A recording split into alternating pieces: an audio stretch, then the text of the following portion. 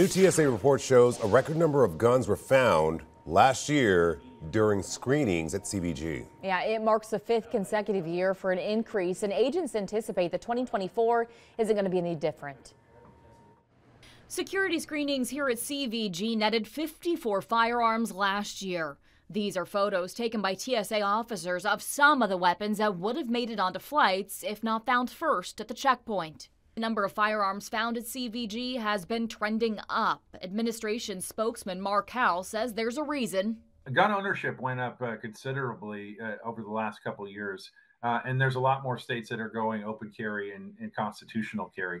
So with that, you have a lot more people that are carrying a firearm with them on on a day to day. Howell says that it's routine for a lot of people to be armed, but the airport needs to be an exception.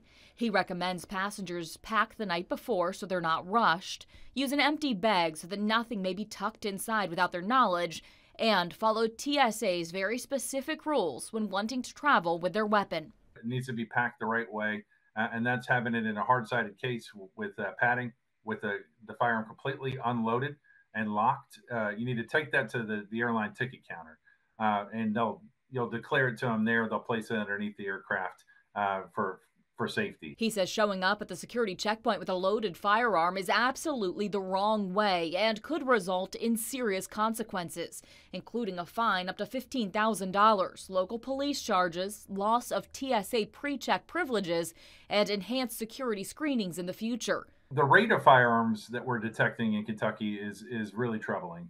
Uh, the national average is one for every 127,000 passengers nationwide, uh, but in Kentucky, it's one for every 68,000 passengers. So so if you have any questions about what is or isn't allowed at the airport and on flights, you can always check TSA.gov or the MyTSA mobile app. Travelers can also send pictures of specific items to at Ask TSA on X for help.